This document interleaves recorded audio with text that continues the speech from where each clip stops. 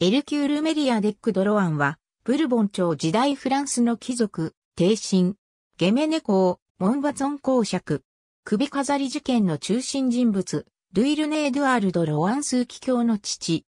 ゲメネ公、シャルル三世ド・ロアンと、その二番目の妻シャルロット・エリザベート・ド・コシュフィレの間の第七子、四男。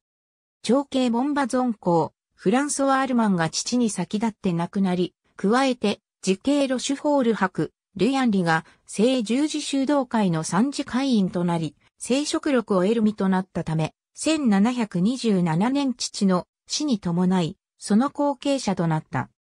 近衛ジャンダルム部隊に所属し、同部隊の旗手を務めた。1757年所領の一つ、サントモールで死去。長女のシャルロット・ルイーズ1718年8月4日、同族のスービーズ公、エルキュール・メリアデックの娘でまた、従妹のルイーズ・ド・ロアンと結婚、間に7人の子を設けた。ありがとうございます。